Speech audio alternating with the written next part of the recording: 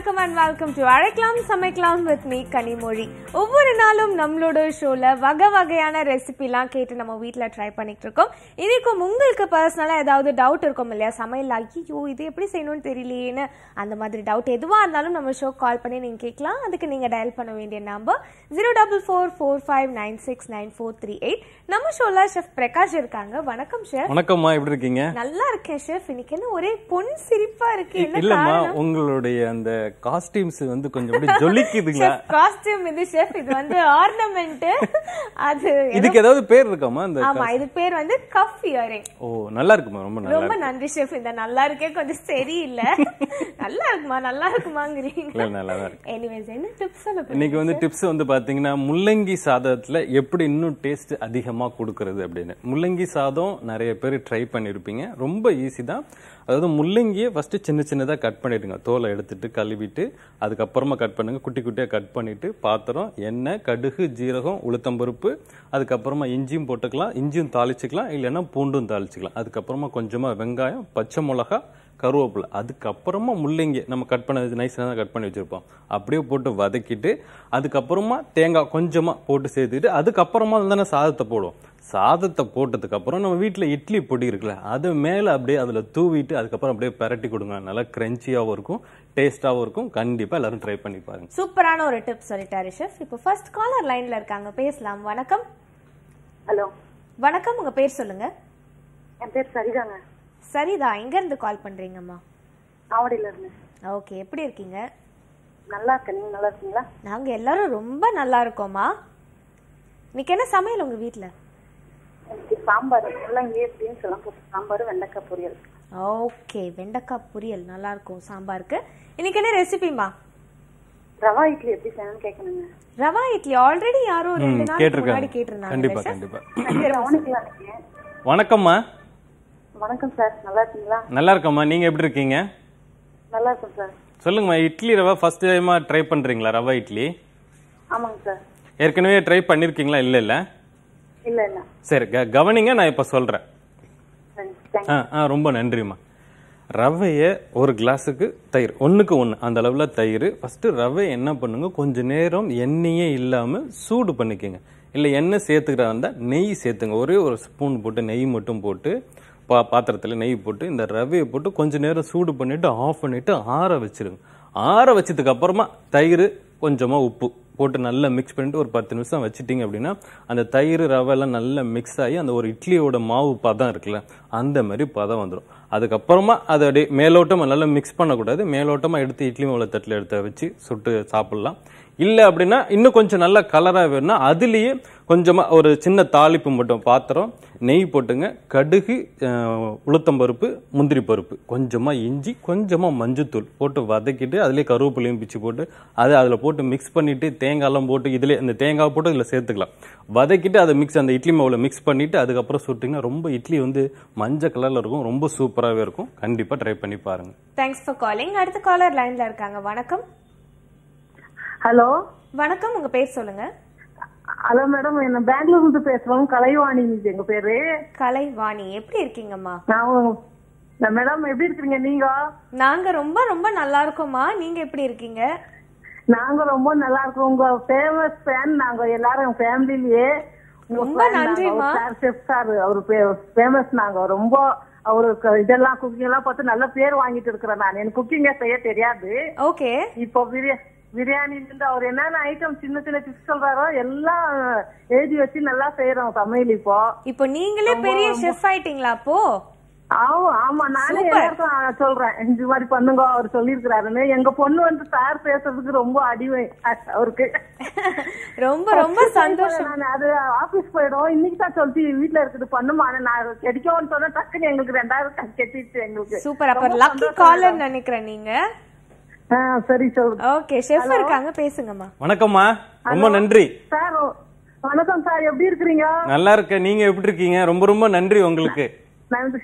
நாங்க உங்க சமையல செஞ்சு நான் சமையல நல்லா செய்ய கத்துக்கிறேன் இப்போ. Very good very good. ரொம்ப சந்தோஷமான விஷயம். புரியுதோ பாருங்க நல்லா சிம்பிளா சொல்றாரு அவர். என் டைரி ஃபுல்லு உங்க சமையல எழுதி வச்சிருக்கிறேன். அப்படிங்களா? ரொம்ப ரொம்ப சந்தோஷமா ரொம்ப சந்தோஷம். கேட்கவே ரொம்ப சந்தோஷமா இருக்கு. எல்லாமே செஞ்சும் பாருங்க சரிங்களா? நான் செஞ்சு பார்த்தேன். எல்லாமே பிரியாணில இருந்து எல்லா ஐட்டம் இதுன்னு சொல்றதுக்கு இல்ல. எந்த ஐட்டம் சொல்றீங்களோ செஞ்சுட்டு அந்த வாரம். சரிம்மா சரிம்மா. இன்னைக்கு என்ன சமைச்சீங்க? எங்களுக்கு குஸ்கா சார். இன்னைக்கு என்ன சமைச்சீங்க? வீட்ல குஸ்கா சமைச்சீங்களா? இல்ல இன்னைக்கு சாரி இன்னைக்கு தேர்ஸ்டே சார் சித்ரானா சாய்பாபா பக்தர் நாங்க. ஓஹோ. ஃபேமிலியில சரி. சித்ரானாங்க சார் வேற எதுவும் செய்யற மாதிரி இல்ல. சரி இன்னைக்கு என்ன குஸ்கா கேக்குறீங்களா சந்தேகம்? ஆமாங்க சார் இன்னைக்கு நீங்க என்ன சமைச்சீங்க வீட்ல? நாங்க சித்ரானா ஆஹ், தமிழ். எலுமிச்சை சாதம். ஓ எலும்பிச்சை சாதமா? சரி சரி சரி. கவனிங்க நான் இப்ப சொல்றேன் குஸ்கா. நான் சொல்றேன் கவனிங்கம்மா. சரிங்க சார். சரிம்மா ரொம்ப நன்றிம்மா ரொம்ப நன்றி. குஸ்கா.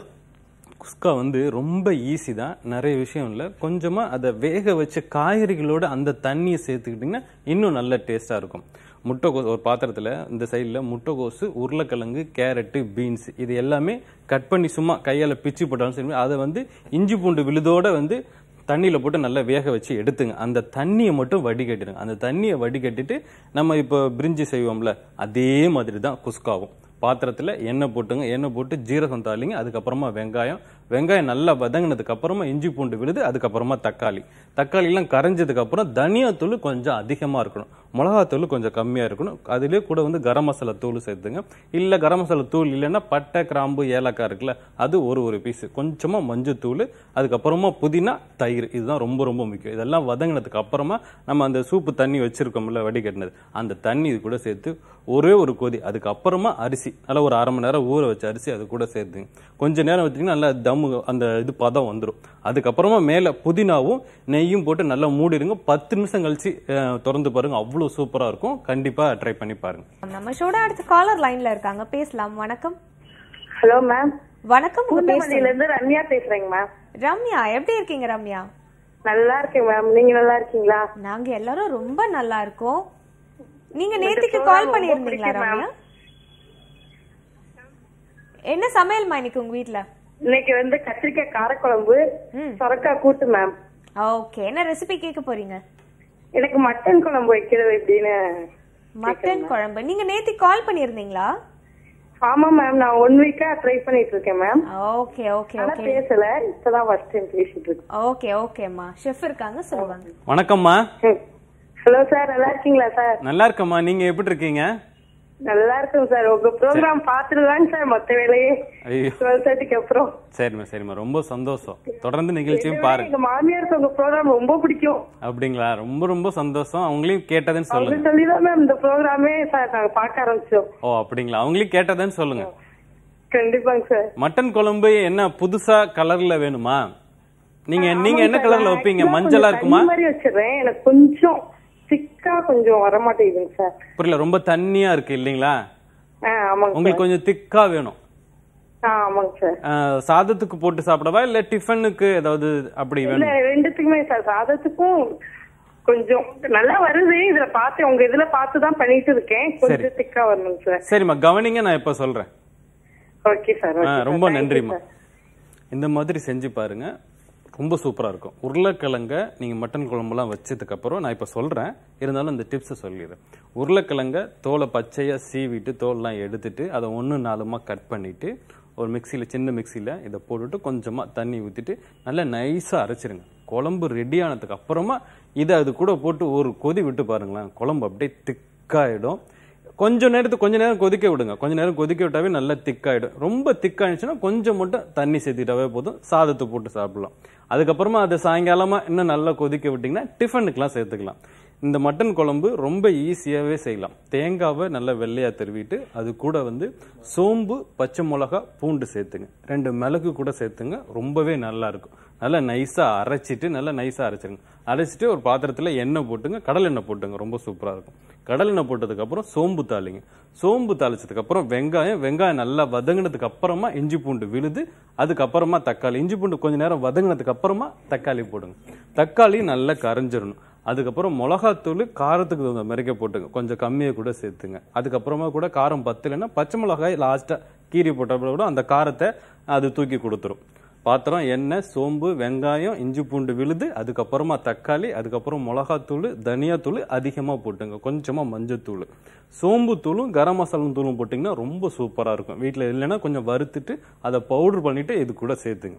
அதுக்கப்புறமா ஒரு கிளாஸ் தண்ணி நல்ல ஒரு பச்சை வேகம் போகும்படி நல்லா கொதிக்க விட்டுட்டிங்கன்னா அந்த பச்சை வேகம்லாம் மிளகாத்தூள் அந்த பச்சை வேகமாக போயிடும். அதுக்கப்புறமா மட்டன் வேக வச்ச தண்ணி இருக்குல்ல அந்த அதோட தண்ணியும் நம்ம தேங்காய் அரைச்சி வச்சிருக்கோம்ல இதையும் ஒண்ணா போட்டு இது இது இன்னும் ஒரு அஞ்சு நிமிஷம் கொதிக்க விட்டதுக்கப்புறம் குழம்பு ரெடி ஆயிடும். அதுக்கப்புறமா அந்த மட்டன் அதில் லாஸ்ட்டாக இதில் போட்டுட்டு சோம்பு தூள் ஒரு கருவேப்பிலை கொத்தமல்லி. அவ்வளோ சூப்பராக இருக்கும். கண்டிப்பாக ட்ரை பண்ணி பாருங்க. தேங்க்ஸ் ஃபார் காலிங் வணக்கம் லைன்ல இருக்கீங்க பேசுங்க.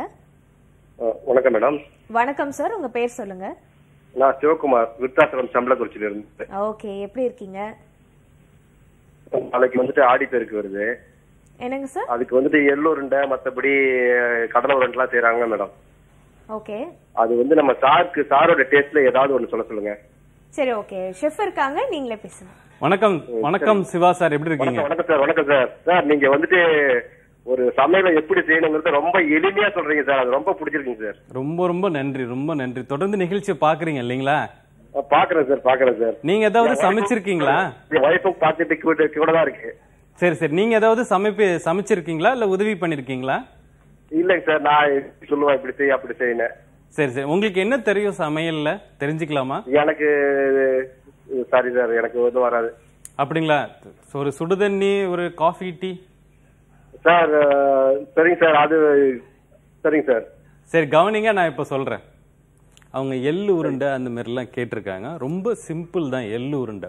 ஒரு பாத்திரத்துல வெல்லம் ஒரு கிளாஸ் தண்ணி போட்டு கொஞ்ச நேரம் கொதிக்க விடுங்க. நல்ல திக்காகும் இன்னும் ஒரு பத்து நிமிஷம் கொதிக்க விட்டிங்கன்னா அந்த சட்டியில் கொஞ்ச நேரம் அந்த ஒட்டுற மாதிரிக்கு வரும். அது அப்புறமா அதை எடுத்து ஒரு சின்ன ஸ்பூனில் இந்த சைடில் ஒரு சின்ன பாத்திரத்தில் தண்ணி வச்சுட்டு அதை எடுத்து இதில் போட்டு பாருங்க. போட்டு பாருங்க அதை உருட்டு பார்த்தீங்கன்னா நல்லா உருண்டை மாதிரிக்கு வரும். அந்த பதம் தான். அதில் நீங்கள் எள்ளை போட்டு லாஸ்ட்டாக இந்த மாதிரி பதம் வந்ததுக்கு அப்புறமா எள்ளை போட்டு ரெண்டு நிமிஷம் அப்படியே பரட்டினீங்கனாவே போதும். அந்த சூட்டோட இறக்கிட்டு அந்த சூ கொஞ்சம் சூட்லேயே வந்து நீங்கள் உருண்டை உருண்டையாக உருட்டி பிடிச்சிக்கலாம். இல்லைன்னா கேக் மாதிரிக்க கூட கட் பண்ணிக்கலாம். கண்டிப்பாக ட்ரை பண்ணி பாருங்க. ரொம்ப ரொம்ப ஈஸி தான். தேங்க்ஸ் ஃபார் காலிங் அடுத்த காலர் லைன்ல இருக்காங்க. வணக்கம். வணக்கம்மா. வணக்கம். உங்க பேர் சொல்லுங்க. என் பேர் இல்லைங்க மேடம். எங்க இருந்து கால் பண்றீங்கம்மா? நாங்க அவினாசில இருந்து கால் பண்றேங்க. திருப்பூர். மாவட்டம். எப்படி இருக்கீங்க? நல்லா இருக்கிறோங்க. நீங்க நல்லா இருக்கீங்களா? நாங்க எல்லாரும் ரொம்ப நல்லா இருக்கோமா செஃப் நல்லா இருக்காங்களா? நான் போன வாரம் உருளைக்கிழங்கு தக்காளி போலாமா வேண்டாம்னு கேட்டேங்க. நல்லா இருந்துச்சுங்க செஃப் சொன்ன மாதிரி செஞ்சு பார்த்தேங்க நல்லா இருந்துச்சுங்க எஸ் உங்களோட டவுட் கூட ரொம்ப சூப்பரான டவுட் அது அப்படின்னு சொல்லிட்டே இருந்தாரு ஷெஃப் ஆமாங்க ஆமாங்க. இன்னைக்கு என்ன கேட்க போறீங்க? ஒரு நிமிஷம் மேடம் என் ஃப்ரெண்டு அமலாங்க. அவளுக்கு ஒரு ஹாய் சொல்லிடுங்க. ஓ அமலா ஹாய் நான் சொல்லுமா? ஷெஃப் சொல்லுமா? செஃப் சொல்லணும் செஃப் சொல்லணும். தான் இல்ல நீங்களும் சொன்னா பரவாயில்ல. வணக்கம்மா வணக்கம். வணக்கம்மா எப்படி இருக்கீங்க? நல்லா இருக்குங்க சார். நீங்க நல்லா இருக்கீங்களா? ரொம்ப நல்லா இருக்குமா இன்னைக்கு என்ன சமையல் வீட்ல? இன்னைக்கு எங்க வீட்ல இங்க அவரைக்காய் பொரியல் ரசங்க. சோ என்ன ரொம்ப சிம்பிளா முடிச்சிட்டீங்க இன்னைக்கு? ரசம்? ஆமாங்க எங்க வீட்ல உடம்பு சரியில்லைங்க அதனாலங்க. ஓ சரி சரி. இன்னைக்கு என்ன சந்தேகம்? இன்னைக்கு நான் இட்லி பொடி கேட்கலான்னு இருந்தேன். என் ஃப்ரெண்டு காளான் கிரேவி எப்படி பண்ணணும்னு கேட்க சொன்னாங்க. அது மாதிரி சொல்லிடுங்க. எது பூவா தலையா? இட்லி பொடியா மஷ்ரூமா? மஷ்ரூம் சொல்லுங்க நாளைக்கு வேணா இட்லி பொடி. சொல்லுங்க. சரி ரைட் ஓகே. மஷ்ரூம் வந்து காளான் கிரேவி நல்லா சொல்லுங்க. சரிம்மா சரிம்மா. காளான் கிரேவியே சொல்றேன். கவனிங்க. காளான் கிரேவி ரொம்ப ஈஸி தான். நிறைய விஷயம்லாம் கிடையாது. காளானை இன்னைக்கு வாங்கிட்டு வந்தீங்கன்னா ஃப்ரெஷ்ஷாகவே இருக்கும். நாளைக்கு யூஸ் பண்ற மாதிரிக்கே இருந்துச்சுன்னா மைதாவை போட்டு கழுவிட்டிங்கன்னா அந்த கருப்பெல்லாம் போயிடும். நல்லா வெள்ளையாக இருக்கும். ஒன்று நாலுமா கட் பண்ணிக்கோங்க. இந்த ப- இந்த சைடில் ஒரு பாத்திரத்தில் எண்ணெய் போட்டு சோம்பு தாளிச்சுங்க. கடலெண்ணெய் போட்டு சோம்பு தாளிச்சுங்க. அதுக்கப்புறமா வெங்காயம். வெங்காயம் நல்லா வதங்கினதுக்கு அப்புறமா இஞ்சி பூண்டு விழுது அதுக்கப்புறமா தக்காளி. இதில் நல்லா இதெல்லாம் கரைஞ்சதுக்கப்புறம் தனியாத்தூள் மஞ்சத்தூள். பச்சை மிளகா தான் காரம். நல்லா ஒரு நாலு பச்சை மிளகா கூட கீறி போட்டுங்க. இதெல்லாம் அதில் வதங்கினதுக்கு அப்புறமா இந்த மஷ்ரூமையும் அது கூட போடுங்க நல்லா வதங்கணும். வதங்கினதுக்கு அப்புறமா தண்ணி கொஞ்சம் விடும். இன்னொரு ஒரு அரை கிளாஸ் தண்ணி விட்டிங்கன்னா அந்த ஒரு குழம்பு பதம் வந்துடும் அதுக்கப்புறமா தேங்காய் கூட முந்திரி பருப்பு மட்டும் போட்டு நல்லா நைஸாக அரைச்சிட்டு அதுவும் இது கூட போட்டு கொதிக்க விடுங்க இறக்க போகும்போது மிளகு தூள் சோம்பு தூள் கொஞ்சமாக ஒரு பிஞ்ச் அளவு கரம் மசாலா தூள்.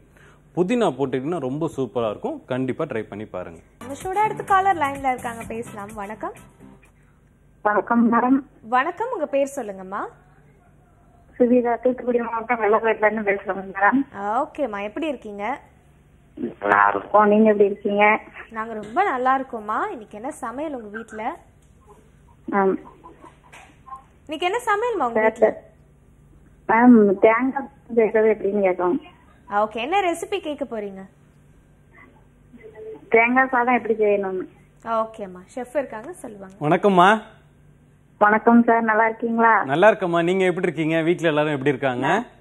எல்லாரும் நல்லா இருக்காங்க. எங்க அம்மாவுக்கு உங்க ப்ரோக்ராம் ரொம்ப பிடிக்கும். ரொம்ப ரொம்ப நன்றிம்மா. ரொம்ப நன்றி சொன்னேன்னு சொல்லிருங்க. இன்னைக்கு என்ன சமைச்சு டெய்லி ஸ்கூலுக்கு தேங்காய் சாதம் வேணும் வேணும் கேட்டுட்டு கிடக்குற அது எப்படி செய்யணும் அப்படின்னு பண்ணி சொல்லுங்க சார். கண்டிப்பா நான் சொல்றேன். இன்னைக்கு என்ன சமைச்சீங்க?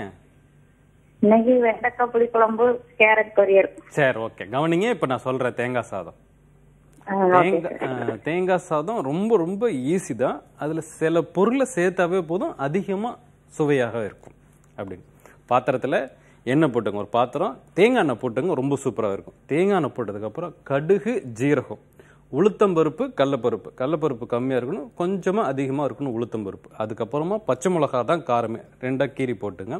அதுக்கப்புறமா சிவப்பு மிளகாய் ரெண்டாக கூட உடச்சி கூட போட்டுக்கலாம். அதுக்கப்புறமா கருவேப்பிலை. கருவேப்பிலை போட்டதுக்கப்புறம் இஞ்சி இஞ்சை நல்லா நைஸாக கட் பண்ணிவிட்டு அதுவும் அது கூட சேர்த்துங்க.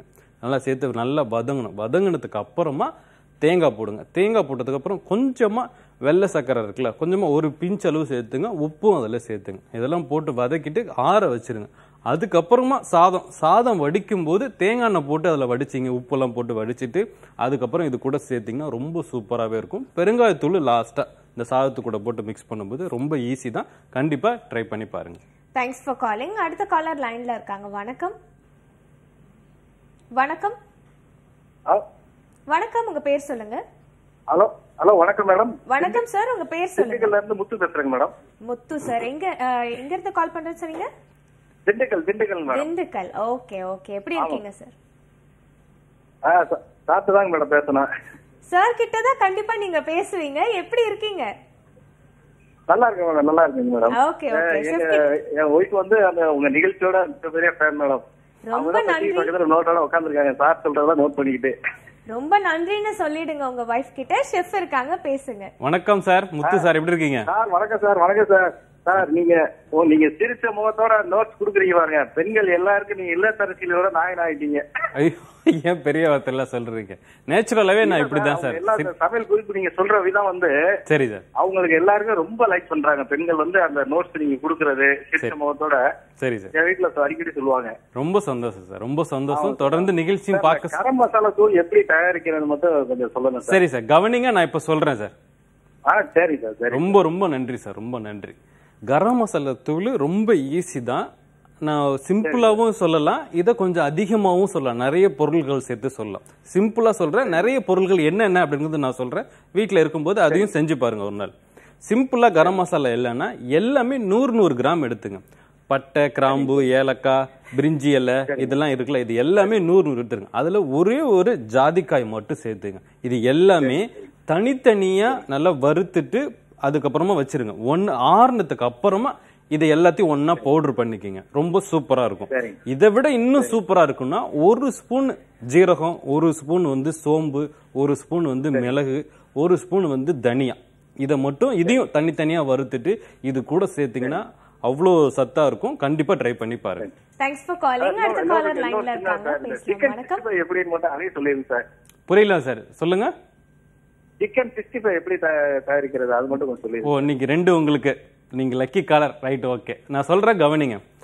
சிக்கன் சிக்ஸ்டி ஃபைவ் வந்து ரொம்ப ரொம்ப ஈஸி தான். இந்த நான் சொன்னேன்னா இந்த கரம் மசாலா தூளை சேர்த்துங்க. சிக்கன் சிக்ஸ்டி ஃபைவ் வந்து அதாவது சிக்கனை வாங்கிட்டு வரும்போது சின்ன சின்ன பீஸாக வாங்கிட்டு வரும். பாத்திரத்தில் தண்ணி போட்டு மஞ்சத்தூள் போட்டு இந்த சிக்கனை போட்டு ஃபஸ்ட்டு நல்லா கழுவிடுங்க. கழுவிட்டு வடிகட்டிடுங்க. அதுக்கப்புறமா அது கூட இஞ்சி பூண்டு விழுது எலும்பிச்சம்பழம் கொஞ்சமாக தயிர் கூட சேர்த்துக்கலாம். அதுக்கப்புறம் மிளகாத்தூள் தான். வேறு எந்த தூள்? தனியாத்தூள்லாம் சேர்க்காதீங்க. தனியாத்தூள் சேர்த்தீங்க அப்படின்னா நீங்கள் ஃப்ரை பண்ணி எடுக்கும்போது கருப்பாயிடும். அதனால் சொல்கிறேன் சிக்கனு இஞ்சி பூண்டு விழுது எலும்பிச்சம்பழம் மிளகாத்தூள் கொஞ்சமாக கரம் மசாலா தூள் கொஞ்சமாக சோம்பு தூள். காரத்துக்கு வந்து சில்லி பவுட்ரு போட்டுங்க. அதுக்கப்புறமா ஒரு ஸ்பூன் மைதா அரை ஸ்பூன் சோள மாவு உப்பு. இதெல்லாம் போட்டுட்டு மிக்ஸ் பண்ணிவிட்டு ஒரு பத்து நிமிஷம் வச்சிருங்க. பத்து நிமிஷம் கழிச்சு நீங்க ஃப்ரை பண்ணி பாருங்க. நல்லா ஜூஸியா இருக்கும். கண்டிப்பா ட்ரை பண்ணி பாருங்க. தேங்க்ஸ் ஃபார் காலிங் அடுத்த காலர் லைன்ல இருக்காங்க. வணக்கம். வணக்கம்மா வணக்கம்மா. உங்க பேர் சொல்லுங்க. என் பேர் குஷித் சுஷித். ஆமாங்க. ஓகே எங்க இருந்து கால் பண்றீங்கம்மா நாங்க இங்க சென்னை தான். வண்ணாரப்பேட்டையில இருந்து பேசுறோம். ஓகே எப்படி இருக்கீங்க? நல்லா இருக்கும் மேடம் உங்க ப்ரோக்ராம் டெய்லி பார்ப்போம். ரொம்ப நன்றிம்மா. எந்த வேலை இருந்தாலும் விட்டுட்டு வந்து உட்காந்துருவோம் உங்க ப்ரோக்ராம் பார்க்க ரொம்ப ரொம்ப நன்றிம்மா. தொடர்ந்து பாருங்க. ரெசிபி எல்லாம் ட்ரை பண்ணிருக்கீங்களா ஷெஃப் சொல்றது? நிறைய ட்ரை பண்ணிருக்கோம். நல்லா இருந்தது. ஓகே இன்னைக்கு என்ன சமைச்சீங்க? இன்னைக்கு வந்து இது சாம்பாரும் கோஸ் பொரியல். ஓகேம்மா. என்ன ரெசிபி கேட்க போறீங்க இன்னைக்கு? ரெசிபி வந்து எல்லாமே குழம்பு சொல்றாரு சார் எங்களுக்கு எல்லாம் சாம்பார் கார குழம்பு எல்லாம் வச்சு சாப்பிட்டாச்சு. டிஃப்ரெண்டா ஏதாச்சும் ஒரு குழம்பு சொல்லணும் அவரே. இது வரைக்கும் சொல்லாத குழம்பு இன்னைக்கு நீங்க சொல்லி ஆகணும் ஷெஃப் சூப்பரா கேட்டாங்க நல்- நல்லா கவனிச்சிருக்காங்கன்னு நினைக்கிறேன். வணக்கம்மா. வணக்கம் சார் எப்படி இருக்கீங்க? எப்படி இருக்கீங்க? நல்லா இருக்குங்க சார் நல்லா இருக்கீங்களா? நான் ரொம்ப நல்லா இருக்குமா நான் எதிர்பார்த்தது தான் இந்த கேள்வி. நீங்க நீங்க நல்லா பேசுறீங்க. நல்லா கையாட்டி ஆட்டி பேசும்போது ரொம்ப பிடிச்சிருக்கு நீங்க பேசுறது. சரிம்மா அழகா சொல்றீங்க. சரிம்மா. குழம்பு கேட்டிருந்தீங்கல்ல? என்ன குழம்புன்னு சொல்லுங்க. வெஜ்ஜில் சொல்லட்டுமா? இல்ல நான் வெஜ்ஜில் சொல்லட்டுமா? நீங்க எதுலயே ஒண்ணு நல்ல குழம்பா சொல்லுங்க சார் சரி கவனிங்க நான் இப்ப சொல்றேன். ஆ சரிங்க சார் ரொம்ப தேங்க்ஸ் சார் ஆ ரொம்ப நன்றிம்மா. இந்த மாதிரி இந்த குழம்பு வச்சு பாருங்க. இதுல வந்து எல்லா காயும் சேர்த்துக்கலாம். கேரட்டு பீன்ஸு உருளைக்கிழங்கு முருங்கைக்காய் கத்திரிக்காய் இந்த மாதிரிக்கு எல்லா காயும் சேர்த்துக்கலாம். ஆனால் தனித்தனியாக தான் சேர்க்கணும். எல்லாமே ஒன்றா சேர்த்துட வேணாம் ஒரு ஒரு நாளைக்கும் ஒரு ஒரு வெஜிடபிள் போட்டு ஒரு ஒரு காய்கறி போட்டு சேர்த்து வச்சு இந்த குழம்பு பாருங்க ரொம்ப சூப்பராக இருக்கும். தேங்காவை நல்லா வெள்ளையாக திருவிட்டு நல்லா நைஸாக அரைச்சிருங்க. அரைச்சிட்டு ஒரு பாத்திரத்தில் தேங்காய் எண்ணெய் போட்டாலும் சரி இல்லை கடலெண்ணெய் போட்டாலும் சரி கடுகு ஜீரகம் அதுக்கப்புறமா பூண்டு சேர்க்கணும். பூண்டு வதங்கினதுக்கு அப்புறமா வெங்காயம். வெங்காயம் நல்லா வதங்கினதுக்கு அப்புறமா தக்காளி இதெல்லாம் நல்லா வதங்கினதுக்கப்புறம் அந்த எண்ணெயில் வதங்கினதுக்கு அப்புறமா வெறும் சில்லி பவுடர் மட்டும் போடுங்க. வேறு எதுவுமே வேணாம். மஞ்சத்தூள் கூட போட வேணாம். சில்லி பவுடர் மட்டும் போட்டுட்டு அதுக்கப்புறமா அந்த தேங்காயை நல்லா அரைச்சி வச்சுருக்கீங்களே அது கூட போட்டு நல்லா கொதிக்க விடுங்க. இந்த வதக்கும் போதே நீங்கள் என்ன வெஜிடபிள் போடுறீங்களோ அது கூட போட்டு வதக்கிடுங்க. இறக்க போகும்போது நல்லா அந்த குழம்போட பதம் வந்துடும் இறக்க போகும்போது கொஞ்சமாக நெய்யும் போட்டுக்கலாம் இல்லைன்னா தேங்காயும் போட்டுக்கலாம். உப்பு பார்த்துங்க கருவேப்பிலை கொத்தமல்லி. கண்டிப்பாக ட்ரை பண்ணி பாருங்க. தேங்க்ஸ் ஃபார் காலிங் சூப்பரான ரெசிபிலாம் வழக்கம் போல் எங்களுக்காக சொன்னதுக்கு ரொம்ப ரொம்ப நன்றி. சார் இதே மாதிரி வேற ஒரு இன்ட்ரெஸ்டிங்கான எபிசோட சந்திக்கிறேன் this is Kanimozhi signing off இருக்கலாம் சமைக்கலாம்.